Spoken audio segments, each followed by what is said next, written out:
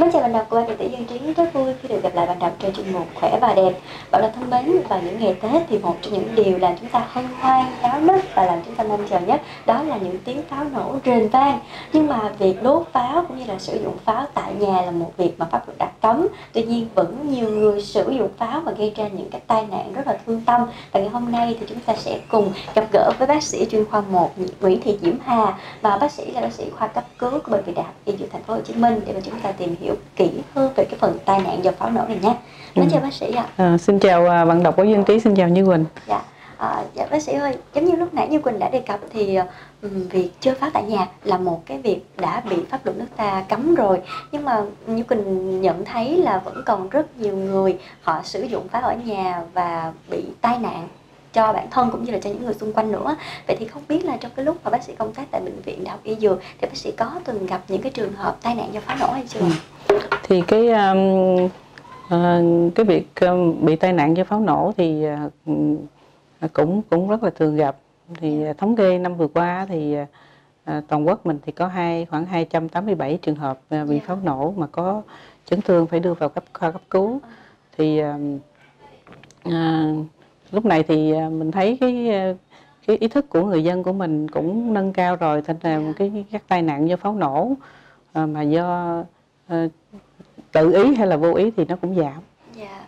và thực sự như mình nghe bác sĩ chia sẻ về cái con số này á, như mình cũng thấy là thực ra một cái hành vi đã bị cấm rồi nhưng mà ờ, cả nước lại nhận được khoảng chừng 287 ca thì như Quỳnh thấy nó cũng là một cái con số mà mình nên giảm đi đúng không ạ? Đúng rồi. Ờ, nhưng mà theo như Quỳnh biết nha thì ở trong pháo thì có những cái chất hóa học như là lưu huỳnh nè, phosphor nè, thậm chí là như Quỳnh còn biết là cái lực nổ của pháo thì nó cũng tương đối là lớn nữa. Vậy thì không biết là ờ, tai nạn do pháo nổ thì nó sẽ ảnh hưởng như thế nào tới cơ thể của Ừ. cái nạn nhân ạ?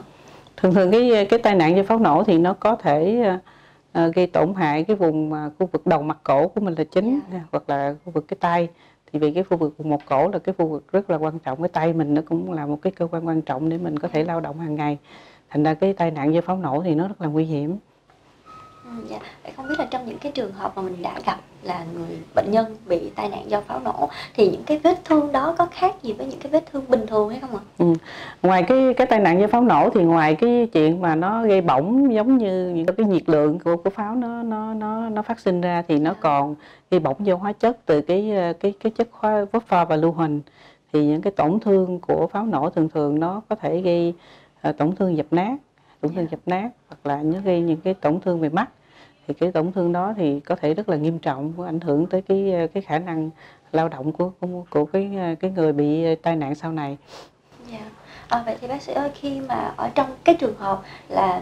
người thân hoặc là bạn bè những người xung quanh của mình gặp một cái tai nạn do pháo nổ thì ờ, đặt bản thân mình là người ở gần đó thì mình phải làm như thế nào để mà sơ cứu kịp thời cho một người bị tai nạn do pháo nổ ạ? thì có một số cái chuyện đặc ờ, có một số mình chuyện mình cần phải chú ý với những cái trường hợp mà bị tai nạn mà vì mắt Dạ. thì mình phải ờ, sơ cứu sơ cứu trước khi đưa người bệnh đi cấp cứu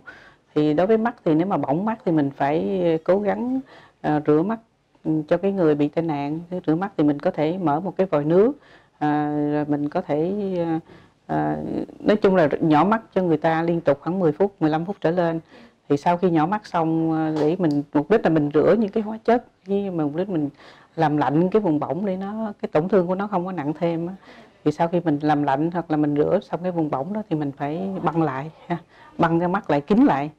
À, để rồi sau đó thì đưa bệnh nhân đến bệnh, bệnh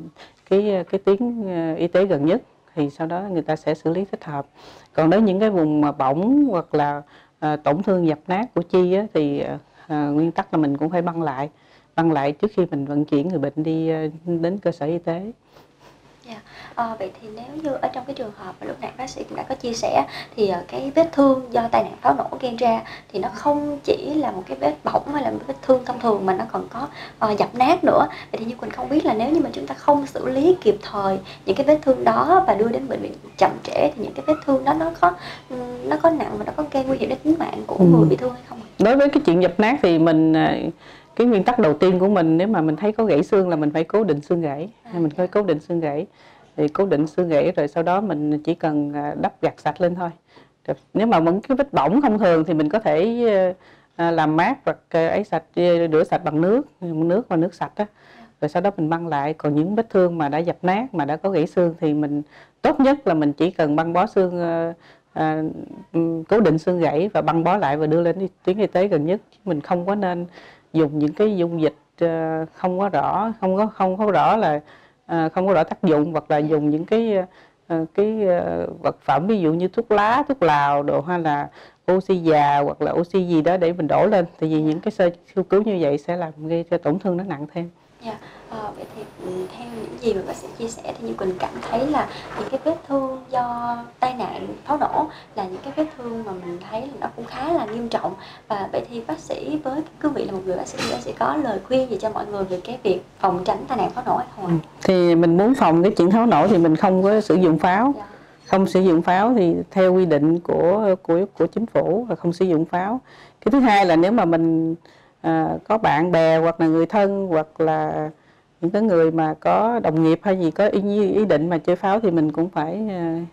khuyên nhủ để người ta đừng có thực hiện cái hành vi đó thì hành vi đó là trái pháp luật rất là cảm ơn bác sĩ về những chia sẻ vừa rồi của chị. Yeah. Dạ. thân mến và những chia sẻ vừa rồi của bác sĩ Diễm Hà thì Như Quỳnh mong là bạn đọc đã có những cái nhìn uh,